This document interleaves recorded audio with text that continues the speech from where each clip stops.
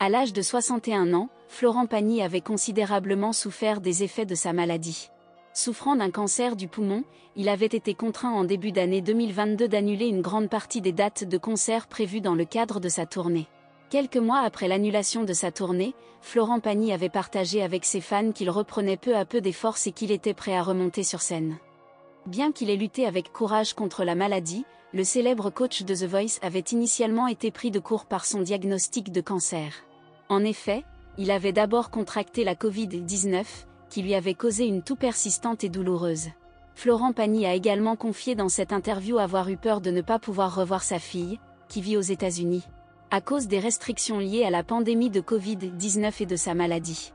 Je ne pouvais pas prendre l'avion, donc j'ai cru que je n'allais jamais revoir ma fille, a-t-il expliqué. Heureusement, il a finalement réussi à se rendre aux États-Unis pour la retrouver, ce qui lui a redonné de la force et de la motivation pour continuer à se battre contre la maladie.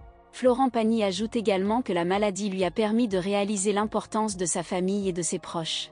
Ce qui est important, c'est le regard des autres, les enfants, la femme, les amis, c'est un autre rythme de vie, c'est un autre regard, et ça vous remet les pendules à l'heure. Quand vous avez quelque chose comme ça, vous êtes obligé de vous recentrer, vous vous recentrez sur l'essentiel. Le chanteur a donc pris le temps de se reposer et de se concentrer sur sa guérison, tout en préparant son grand retour sur scène. Florent Pagny semble donc adopter une attitude positive face à la situation, en cherchant à s'adapter aux nouvelles cartes qui lui sont présentées.